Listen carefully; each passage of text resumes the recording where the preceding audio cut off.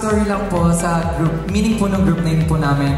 Actually, di ba po, it's plus us po kasi gusto po namin maging addition to everyone's life and vice versa po. Ganun din po sa kanila, sa papunta po sa amin.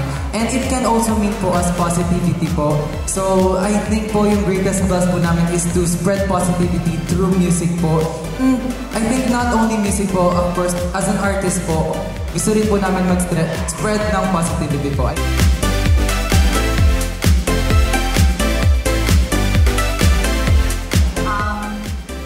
Think that they really sincerely joined the journey because it was not really easy situation, including pandemic.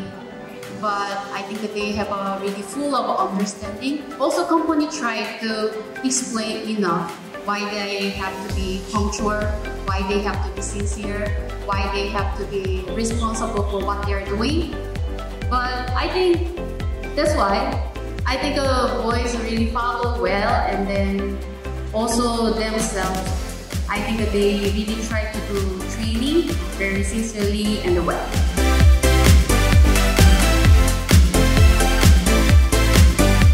First of all, um, we do appreciate that there are a lot of emerging uh, hip-hop groups right now because um, it's actually uh, booming right now. And of course, um, I really believe in Tatang Robin. As what I said in our previous uh, press conference, uh, historically, we're very proud of YGIG as well, our girl group. And now we're so excited to bring um, our voice plus to all of you. Hope you enjoy it today.